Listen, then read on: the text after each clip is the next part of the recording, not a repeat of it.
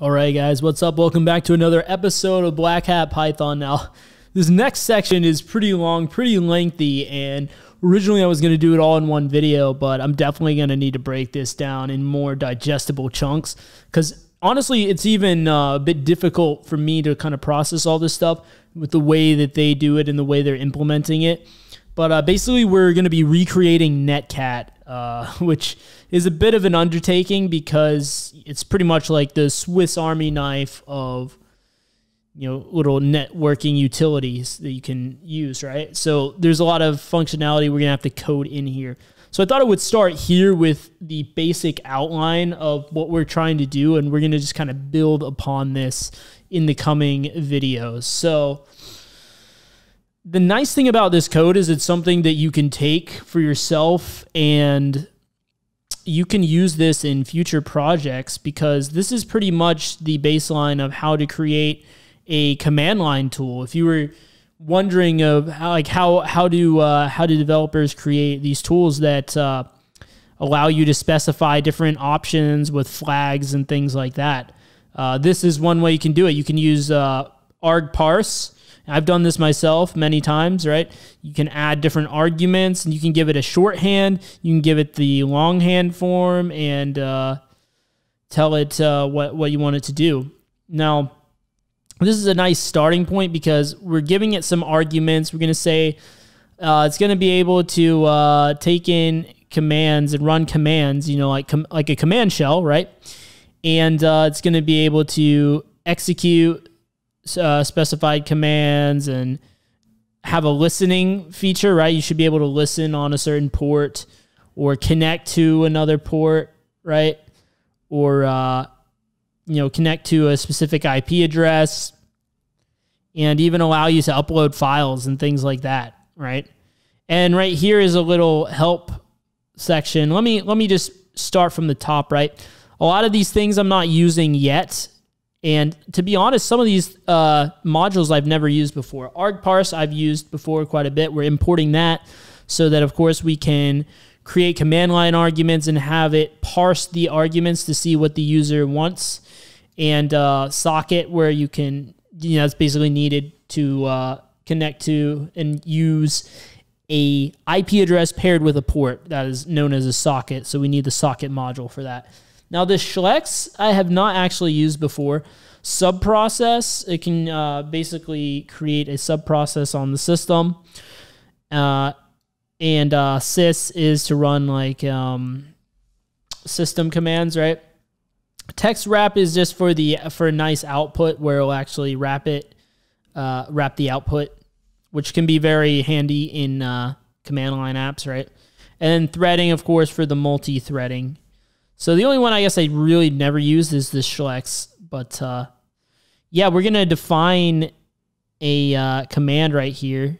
Uh, we're de- actually not defining a command, but we're defining a function called execute that takes in a parameter that we're calling command. And we're going to run uh, the strip function against that. Now, what that does is that, and here's a good way to, I pulled this up so you guys could see visually if you're more of a visual person. Basically, what it's going to do is remove spaces at the beginning and ending of a string. So, for example, if you have something like this, it's going to remove the white space here and all the white space at the end as well. So you're just left with banana. So X is just going to be equal to banana. So it will print out of all fruits, banana is my favorite without any of these weird spaces here. So that is what the, it's a built-in uh, method here. That's what this built-in strip method is doing. And you can run that on any string. Execute is a string, or sorry, command is a string. So you can perform uh, that method on the string just in case the user enters in some random spaces on accident. And basically, if the user doesn't supply any command, then it's just going to exit out. But if he does, then it's going to store, uh, it's going to run the sub process here and use shlex on. I'm not exactly sure what this line is doing because I don't really I don't really know what shlex uh, shlex is. Oh, here we go. Just mouse over it, right? A lexical analyzer class for simple shell-like syntaxes. Okay. So that gives me a little bit of an idea. So it's basically something that you would use with uh, creating command line tools, basically. And so maybe it helps it uh, process it a little bit better. But uh, basically, it's going to store this in the output here. And it's going to be encoded output, I guess. So we're going to need to decode that and we'll return the decoded output. But then here is uh, what happens if we run this as uh, if we if we run this netcat netcat.py file directly, right? Remember, if dunder name dunder is equal to dunder main dunder, then that means we actually ran netcat.py. So that way, if someone imports this into their code, it's not going to run anything inside here, right? So we want to create a parser, and to do that, we'll say arg parse argument parser, and basically, as the name implies, it's going to parse uh, looking for our arguments, and uh, it'll set that equal to the parser, right? And this is a little bit of, I think, extra metadata for it to let it know what specific formatter class and all this stuff you want to use. Something that you can just make note of. You don't have to really memorize this, right? And then here, this epilogue te- text wrap dedent. Here's where you can actually put in a little comment where uh, a user can see the usage so they can uh, figure out how to use the tool if they're not sure. And here's some examples that uh, they supplied uh, in the example.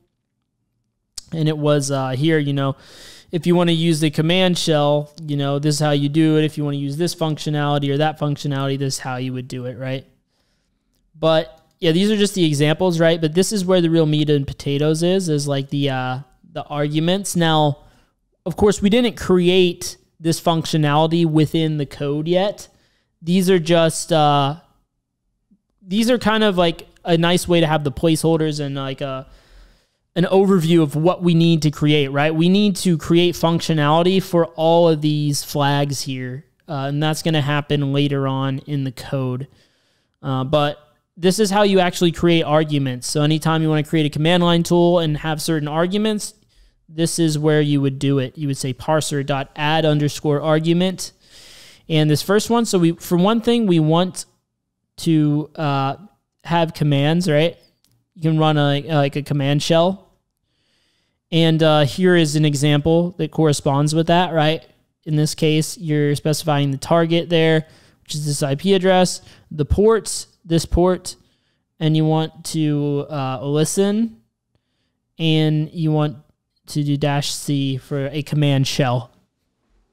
Okay, this is like uh, the functionality we're gonna have to actually build it out later. But then for this one, if we want to maybe execute a specific command, here would be the example that corresponds to that, where you know give it the target, give it the port, listen, and then execute uh, cat etsy password. Now, if you notice here, they got these backslashes in front of the double quote, and that is because they want it to be interpreted as a uh, string literal in this case.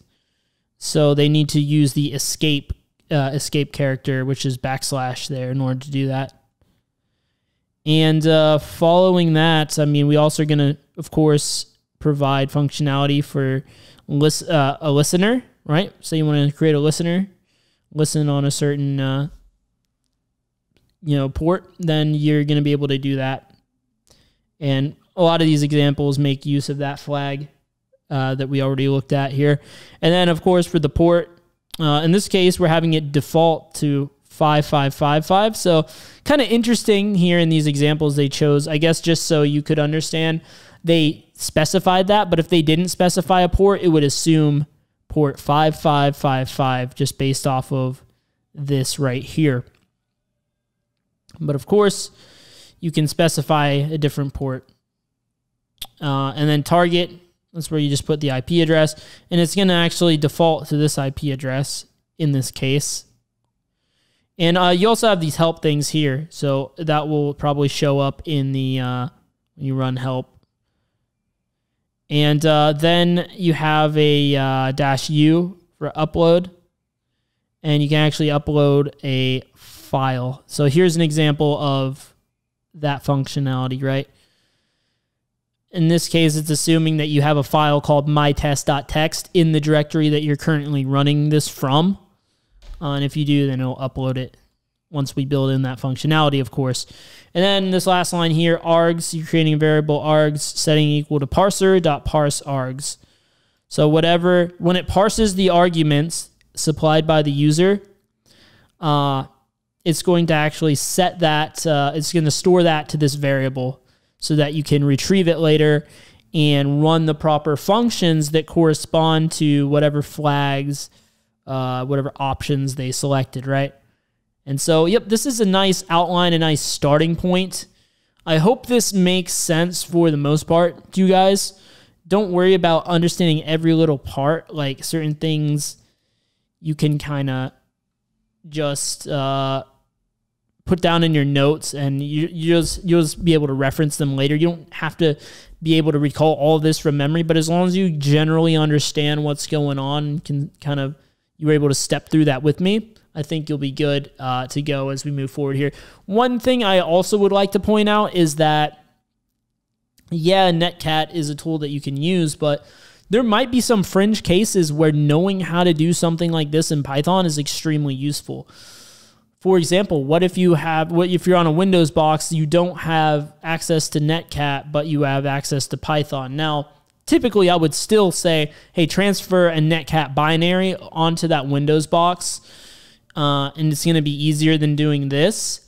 But maybe you're in like a red team engagement where you don't want to dump uh, stuff to disk, right? And you know, you might be operating in some other constraints where knowing how to do something like this, quick and dirty, uh, and just creating it custom might be the stealthier approach, might be the better suited tool to your particular situation Personally, as a pen tester, I don't know that I would necessarily need to use this, but it's another tool in my tool belt. Maybe I'll be on OSCP or something and I'll run into some crazy edge case where this could be my solution. So definitely don't glaze over this. Pay attention to this and just add it as yet another tool in your tool belt. So hopefully this video was of help. I know this isn't doing too much just yet, but you know, bear with me, stick with it. This is a pretty long section here and we're going to be going through it in digestible chunks and replicating netcat definitely a pretty interesting thing in my opinion so uh, yeah if you or if you found this video helpful definitely subscribe if you haven't already hit the like button to help get this information out there as well and uh, yeah if you want to see some of the more preliminary videos we've done on this topic check out uh, well, I'll point in the right direction for once here. Check out uh, the video on screen, the playlist on screen now, uh, Black Hat Python, and I will see you guys over in those videos. Thanks for watching.